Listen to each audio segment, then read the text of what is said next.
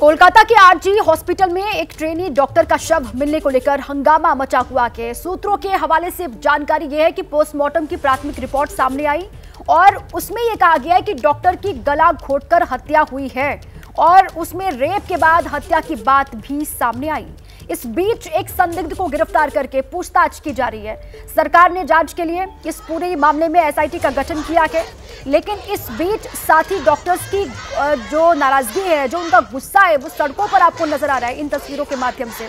इंसाफ की मांग को लेकर वो सड़कों पर उतरे हुए हैं।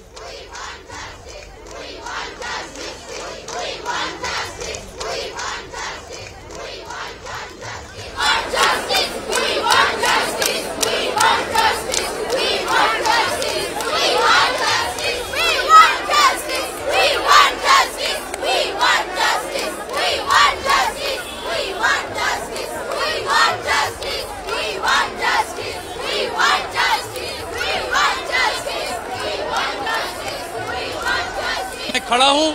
कोलकाता के एक सरकारी अस्पताल में, सरकारी मेडिकल कॉलेज में आरजीकौर अस्पताल। और उस आरजीकौर अस्पताल से जो कल का जो नज़ारा मिला था, यहाँ पे एक पीजीटी, यानी पोस्ट ग्रेजुएट ट्रेनिंग डॉक्टर की, यहाँ पे उनका हत्या हुई है, ऐसा आरोप आ रहा था। और उनके परिवार का आरोप था कि बलात्कार के बाद उनका हत्या किया गया है। और पोस्टमार्टम के बाद ये बात आज पुलिस को भी कहना पड़ रहा है कि हाँ पहले बलात्कार किया गया था और फिर उस डॉक्टर के हत्या किया गया है। मैं जहाँ पे खड़ा हूँ, मेरे पीछे जो आपातकालीन बिल्डिंग है, वहाँ की चौथी मंजिल पे एक सेमिनार रूम है। रात को नाइट ड्यूटी कर रहे थे वो डॉक्टर और वहाँ पे उनको रेप किया गया, फिर उनका मर्डर किया गया। ऐसा ही पोस्टमार्टम के बाद जो लोग जाँच कर रहे हैं, उनका कहना है। इस सिलसिले में एक एक यहाँ के जो कर्मचारी है, वो डायरेक्टली यहाँ पे इन्वॉल्व नहीं है, लेकिन लेकिन यहाँ पे वो आते जाते रहते हैं, बाहर ही है। फिर भी हर वक्त यहाँ अस्पताल के अंदर वो मिलते हैं। ऐसे एक संजय राय नाम का एक व्यक्ति को अभी गिरफ़्तार किया गया है। यहाँ पे मैं तस्वीर दिखाना चाहूँगा कि भारी मात्रा में यहाँ पे डॉक्टर लोग वो यहाँ पे बैठे हैं और उनका कहना है कि असुरक्षा का माहौल है और उन्हें सुरक्षा चाहिए, क्योंकि नाइट ड्यूटी जब करते हैं, ये डॉक्टर लोग, उनका कहना है कि उनका सिक्योरिटी क्या है? और मैं आ, बात करना चाहूँगा यहाँ पे जो लोग मौजूद है उनसे कि पहले तो मैं ये पूछना चाहूँगा कि जिनको गिरफ़्तार किया गया है एक जन को गिरफ़्तार किया गया है आप लोगों का अभी मांग क्या है?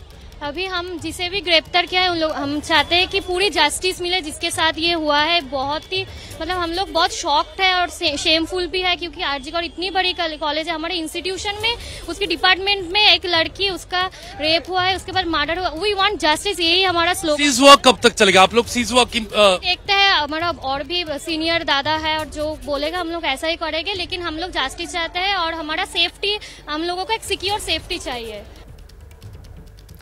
तो देखिए, पुलिस के सूत्रों के हवाले से जो दावा किया जा रहा है, उसके मुताबिक लेडी डॉक्टर से पहले रेप किया गया और बेरहमी से फिर उसकी हत्या की गई। उसकी बॉडी पर कई जगह चोट के निशान हैं, प्राइवेट पार्ट पर जख्म के निशान हैं और पैर और आँखों से ब्लीडिंग हो रही थी, ये बात सामने आई। मुँह, नाक पर ब्लड क्लॉट मिले हैं। पेट, चेहरे, होठ दाइने हाथ, एड़ी में चोट के निशान पाए गए हैं और नाखून से जख्म के भी निशान नज़र आ रहे हैं। तो देखिए पोस्टमार्टम की रिपोर्ट उसमें इस बात का ज़िक्र है, जो प्राथमिक रिपोर्ट सामने आई है।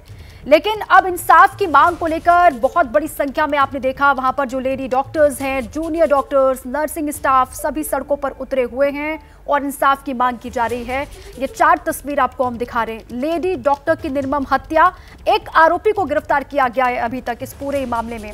एसआईटी का गठन, इस पूरे मामले की जाँच एसआईटी कर रही है। एक संजय रॉय नाम का शख्स है जिसको गिरफ़्तार किया गया, उससे पूछताछ भी लगातार हो रही है। लेकिन इस पूरे के मामले को लेकर और लॉ एंड ऑर्डर को लेकर बीजेपी हमलावर है टीएमसी सरकार पर।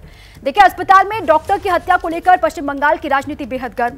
बीजेपी ममता सरकार को घेर रही है और कानून व्यवस्था पर सवाल उठा रही है। लेकिन टीएमसी का कहना है कि हत्या पर राजनीति ठीक नहीं है। एसआईटी बनाई गई है, वो जाँच कर रही है, गुनेगार जो भी होगा, बचेगा नहीं। मुझे पता चला कि ये लड़की जो है, वो हमारे कॉन्स्टिट्युएंसी के है। हमारे वहाँ के एमएलए निर्मल घोष भी आए थे। मैं पूरा कागज़ देखा छानबीन किया। एक तो अस्पताल बंद नहीं होने दिए ये लोग। दो, पूरा इंक्वायरी शुरू हुआ। मैजिस्ट्रेरियल इंक्वायरी जिसको बोलता है, कोई भी अननेचुरल डेथ में जो होता है, वो किया गया है। इसके बाद हमें आशा है कि जल्दी जो अपराधी है, उसको पकड़ा जाएगा। ये बहुत ही शर्मनाक घटना है। बहुत ही दुखद डॉक्टर जो एमडी पढ़ रही थी, उस पर ऐसी अत्याचार हुआ। तो इंक्वेस्ट रिपोर्ट अभी नहीं आया है, आने से सब बताएँगे जो पोस्ट ग्रेजुएट ट्रेनी आज आरजीकर जैसा हॉस्पिटल में काम कर रहे थे, जो जिस हालत में उनका बॉडी मिला गया कम्प्लीटली निर्वस्त्र और बहुत बॉडी में ब्रूसेस खत जो है बहुत ज़्यादा। इसको देखकर लगता है उसको रेप करके खून किया गया है। तो हम लोग का दाबी है सीबीआई इन्वेस्टिगेशन हो। और ऐसे भी शाम के वक्त के बाद आप पोस्टमार्टम नहीं कर सकते। लेकिन यहाँ पर इन लोग पोस्टमार्टम कर रहे हैं। हम लोग चाहते हैं कि परिवार ये बोले कि वो प्रिजर्व करे बॉडी और कल हम लोग केंद्रीय सरकार के कोई अस्पताल से पोस्टमार्टम करेंगे, क्योंकि यहाँ का ये सरकार का स्टेट सिस्टम से अगर पोस्टमार्टम हो तो जो सच्चाई है, वो फिर से दब जाएगा। ये वारदात 8 अगस्त की है और आज 10 तारीख है। कोलकाता के आरजी हॉस्पिटल की एक घटना है, जहाँ लेडी डॉक्टर के साथ बर्बरता हुई और इसकी खबर तब मिली जब 9 अगस्त की सुबह अस्पताल के थर्ड फ्लोर पर उसका शव मिला। शव इमरजेंसी डिपार्टमेंट के सेमिनार हॉल में मिला। मृतका 31 साल की थी और पीजी सेकेंड ईयर स्टूडेंट थी। तो इस वारदात के बाद अब बहुत बड़ी संख्या में जो महिलाएँ हैं वो सड़कों पर उतरी हैं और महिला सुरक्षा सुनिश्चित करने की मांग की